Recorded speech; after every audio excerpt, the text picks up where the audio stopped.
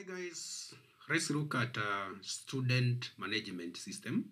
I'll be taking you how to construct a student management system. So this is the ER diagram whereby we shall have an entity student, we shall have an entity grade, we shall have an entity enrollment, we shall have course, assignment and teacher.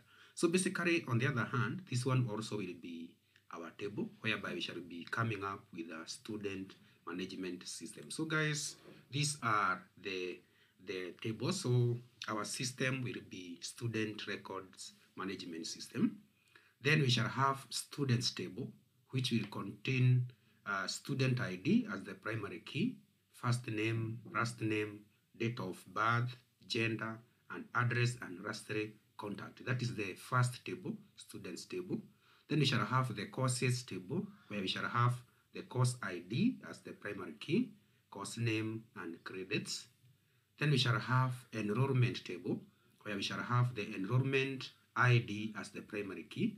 Then we shall have student ID as the foreign key, course ID as the foreign key, and also we shall have enrollment date. Then guys, we shall have the teachers table where we shall have the teacher ID as the primary key. We shall have the first name, uh, last name, and contact number of the teacher. Then we shall have the grades table where we shall have the grade ID as the primary key, enrollment ID as the foreign key, and the score. Then we shall have assignments table where we shall have the assignment ID as the primary key. We shall have the course ID as the foreign key, teacher ID as the foreign key, then assignment name and due date. Guys, the purpose of having these foreign keys is because of relationships and also uh, to, uh, to help me enhance the referential integrity. So uh, we, uh, the, uh, we can also again go back to our ER diagram whereby this one will show the relationship whether it is one to many or many to many relationships among the entities. So guys, this is the ER diagram the system. So in my next uh, video, I'll be doing the system construction using Microsoft Access and so guys, uh, let's create the student management system. So we begin by uh, going to this pod part here. Uh, so we first of all create a folder. So uh, we shall create a folder, right click, go to new, then go to uh, Microsoft Access. So we can just have it as students records management system. Then we launch Microsoft Access uh, to be precise. So we start by creating the tables. So we go to create table design. Here in the table design, guys, uh, we shall create the student ID. This is our primary key. This is uh, should be text and primary key. Then we proceed to the first name. Uh, first name. Then we shall go to last name. Last name. We shall then go to date of birth. This is uh, date and time. Then we shall have to go to gender. This we can use lookup wizard. Go to lookup wizard.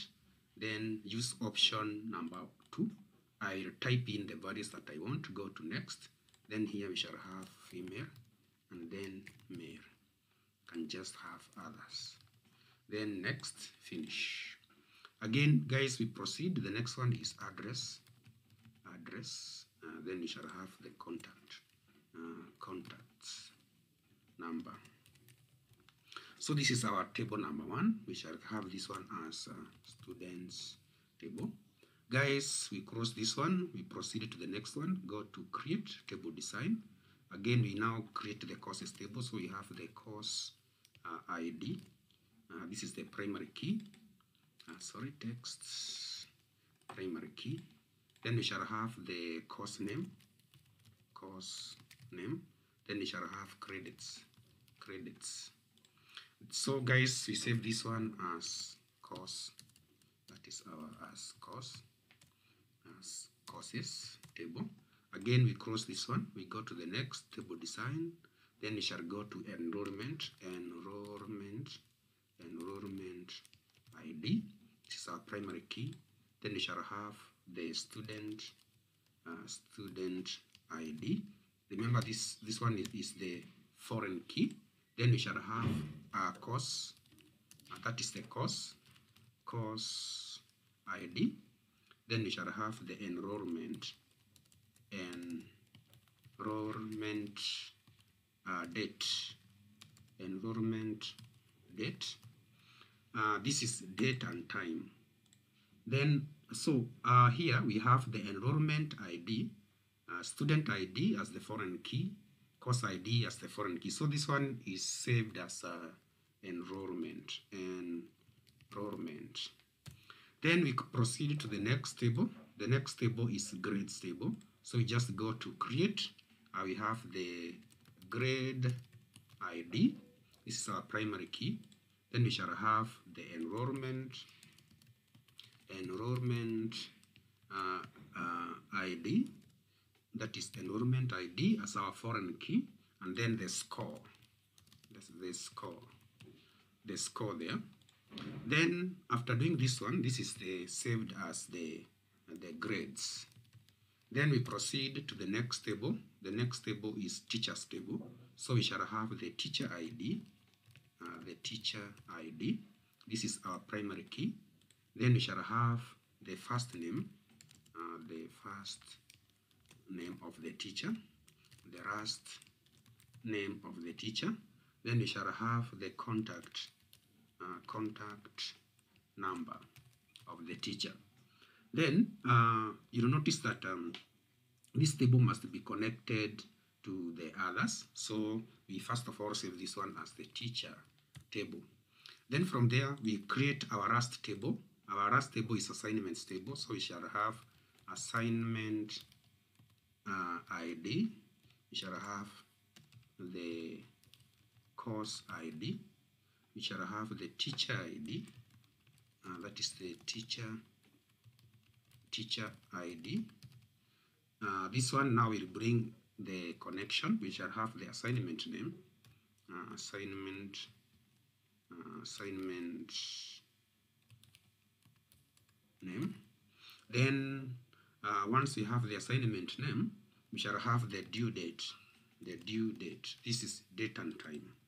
So guys, this is the assignment as the primary key. Then we save this one. This one is assignment assignments so uh, so far we have uh, created our six tables this is the basics uh, the, the basics of our system remember uh, uh, here uh, our system is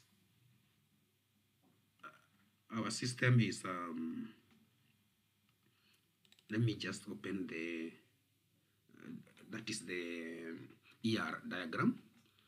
So here, you'll notice that our system is following this ER diagram, whereby we have the course, uh, we have the assignment, we have the teacher, student, grade, and enrollment. So guys, in my next video, I'll be doing the queries, forms, and reports, and then uh, complete the system so that you can see how this relationship comes up. Guys, Thank you very much for watching. Remember to subscribe if you haven't done that way. Also like and share my videos.